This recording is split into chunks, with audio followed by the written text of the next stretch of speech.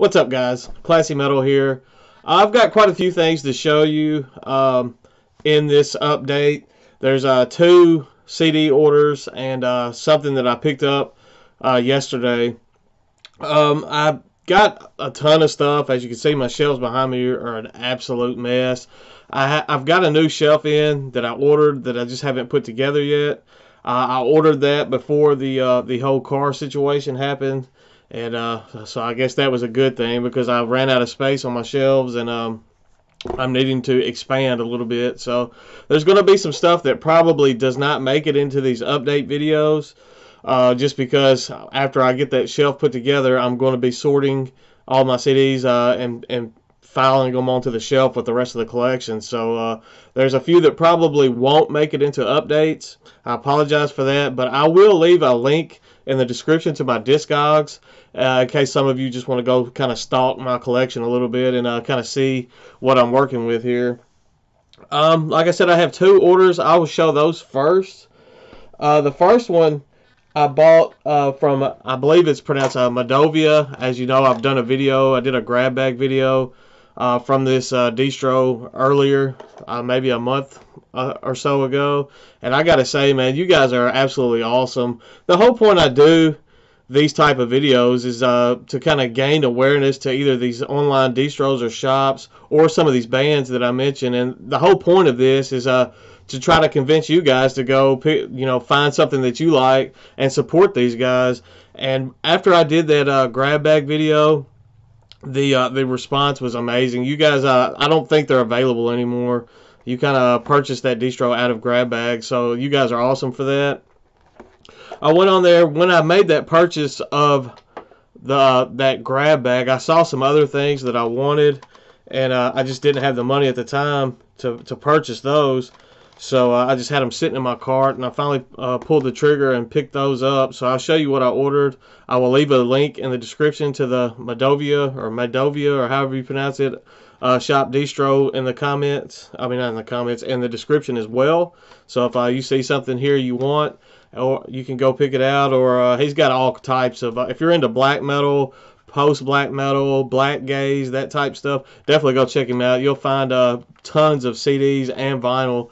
And uh, if you're in the U.S., it's a uh, pretty pretty low priced, and you won't have to pay the overseas shipping, and uh, it, it's very competitive. So definitely uh, go check his shop out.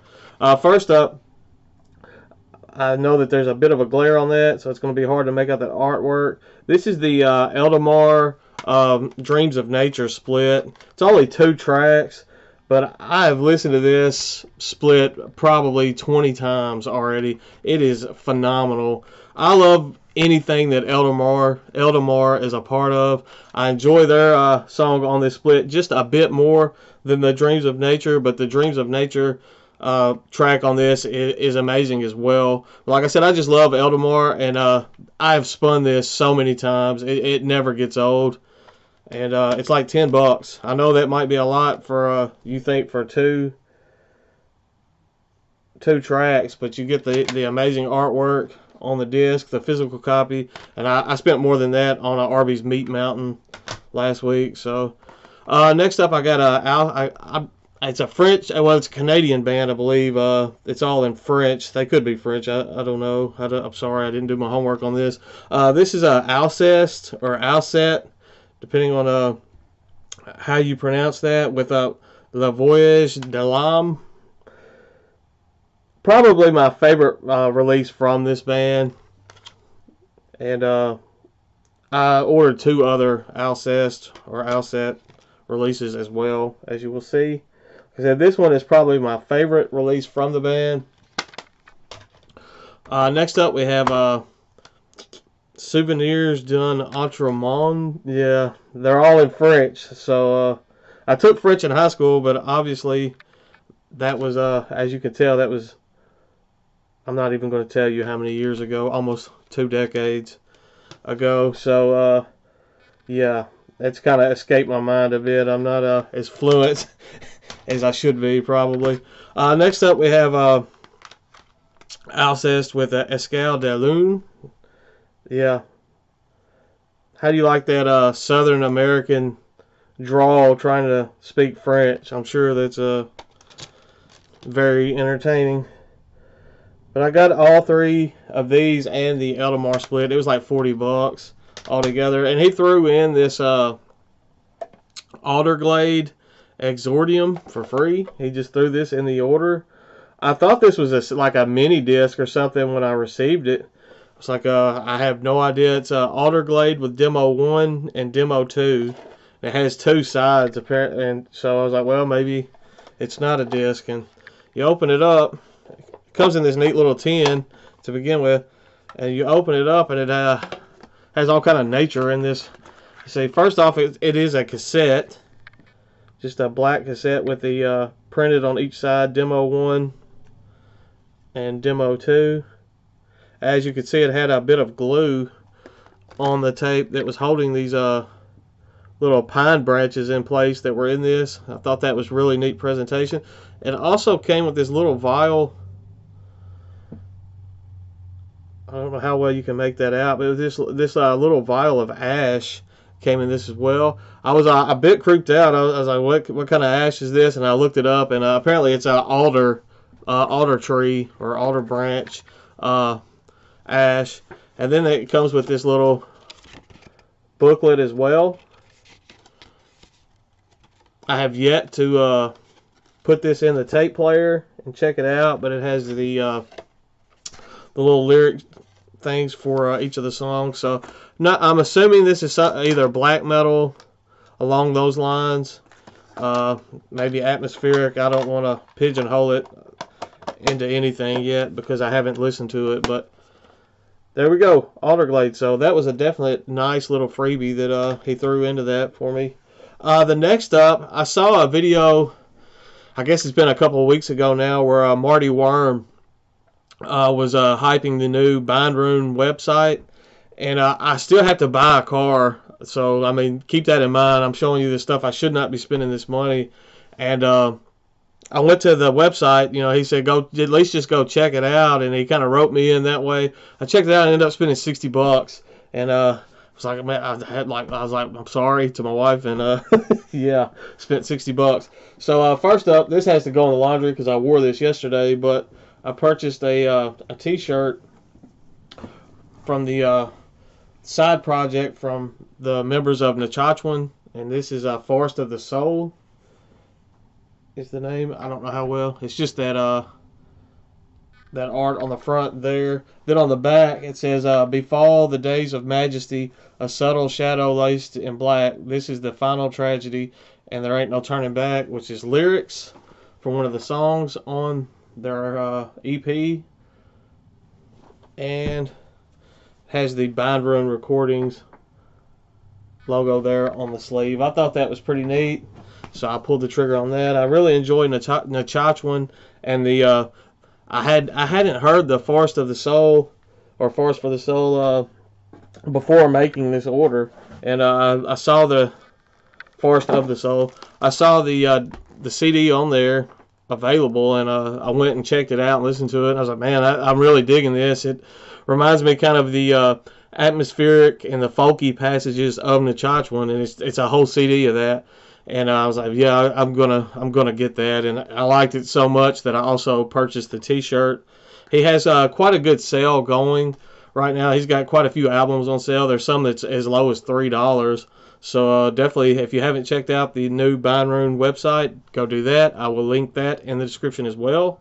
Uh, I picked up, as I was just saying, the Forest of the Soul I guess it's a, a, full length. I said EP earlier, but it's uh, 14 tracks. Uh, it's entitled Restless in Flight. I haven't taken this out of the plastic yet because I've had so much stuff come in here within the past week. I'm still working on uh, listening my way through that uh, Relapse Records grab bag as well.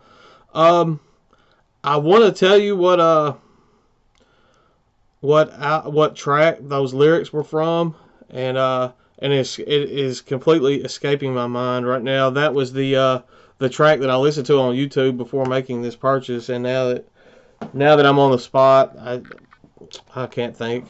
I picked up the, this release from Bindrune. This is a Wilt with a moving monoliths. I, I remember uh, checking this out I believe it was last year, and I really enjoyed it, but I didn't uh, pull the trigger and buy it. I, this was actually my very first uh, ever purchase from Bindrune, and I feel kind of kind of bad about that, uh, not having supported it later. But I, I, saw quite a bit of other stuff while I was making this purchase, so I know once uh, the financial situation improves, there will be some uh, some more Bindrune showing up in my updates. But this is a uh, like I said, moving monolith from Wilt, fantastic release. Definitely check this out if you have not. Uh, these next few were in the sale bin. Uh, I, I, guess you pronounce this band Chaos Oblivion. It's X A O S, but I'm assuming it's uh it's either Zaos or Chaos Oblivion with Black Mountain Spirits. This is uh five tracks. This is on uh Nykta Records. It came out in 2014. After I get this shelf put together and I do uh, some rearranging, I'm going to try my best to do something about this glare that's always in front of me because there's always a white glare right there and I believe it's from the, a door on a closet that's uh, that way. I'm going to do my best uh, to rectify that after I get uh, this rearranged in this room.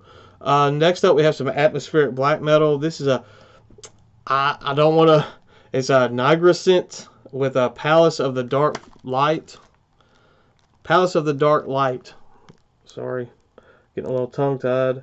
As you can see, most of these are still in the plastic. As I was saying, I just haven't had the chance to uh, to get them out and get them ripped to the computer and played in the stereo yet. So uh, next up, we have uh, Strozek with Forefall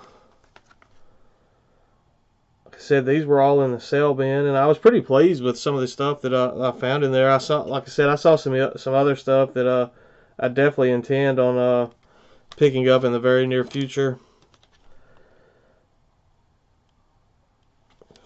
I have two more on this. Uh, next up, we have another Bindrune release. This is uh, some Funeral Doom. This is a uh, Celestiial with uh, Where the Life Springs Eternal.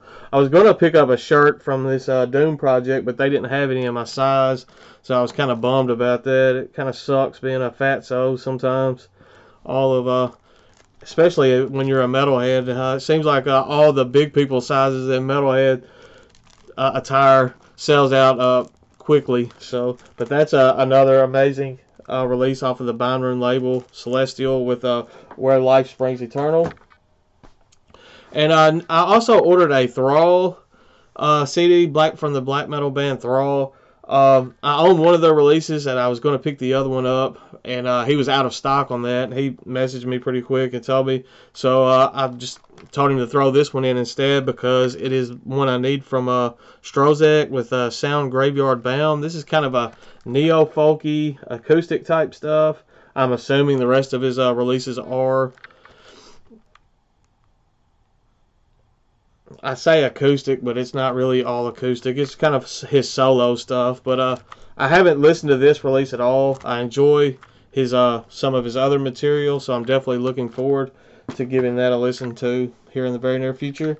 So uh, that's all from Bindrune. Uh, the next stuff, the next four things that I'm going to show aren't uh, CDs or anything. They are uh, album, I guess, prints. They're artworks. I went to uh, my hole in the wall town for some reason decided to throw a, uh, a comic con and a, a, comic and pop culture con is uh, what they called it yesterday. And uh, I, am not really big into that whole comic book culture type thing.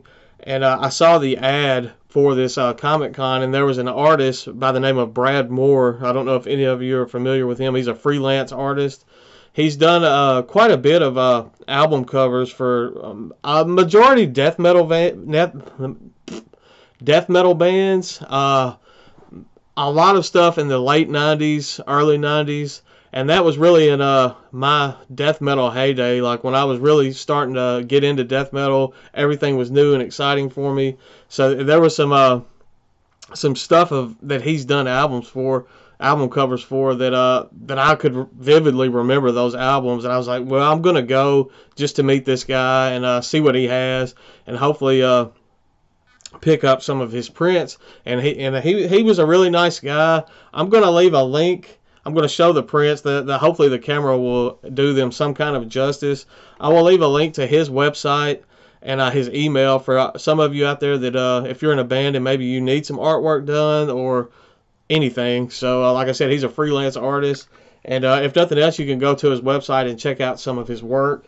Uh, the main one that the main print that I wanted that I hoped he had when I went was from a band. This was released in 2000, and um, the band is called Divine Empire. So it was a death metal band, early 2000s, late uh, 1990s death metal band, and uh, the album was Doomed to Inherit. And I absolutely I remember that uh, that artwork so vividly in my head, and I, it, it was fantastic. And uh, I went, and lo and behold, he had it in his uh, in his uh, booklet of prints that he was selling, and I, I absolutely had to jump on buying it. He was nice enough to sign it for me down there on the bottom, as you see so that was an awesome thing. I can't wait to get that framed and uh, hung up on the wall in here. And I kind of was, was, looking through his books and uh, I saw some other stuff that intrigued me as well. So I went ahead and picked up some others. Uh, this is one that actually came out fairly recently. The album that was used on this. This came out in uh, 2015. Uh, this was from the used by the band Crotch Ripper uh, on their Stalactite Cunt Shrine album, and I don't know how well the camera's going to show that, but uh, that's uh, freaking phenomenal. There's so much going on on that. And uh, he said that uh, his girlfriend posed in one of these prints. I can't remember. It's slipping my mind, which now it might be this release, but he said he had his girlfriend pose in one of these prints that I'm going to show. So uh, it might have been that one in the bottom corner but uh, don't hold me to that because I could be wrong.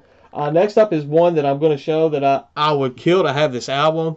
It's been uh, re-released on vinyl, and uh, the cheapest I've seen that's been like 40 bucks, but the CD is outrageous. I, I think it was like one on eBay. It's either eBay or Discogs right now, and it's a uh, a hundred, hundred and forty dollars for the CD, and I just I can't spend it. I would love to have this album. I love the artwork on this album, so I guess for now the uh, the artwork print is going to have to uh, have to suffice for me.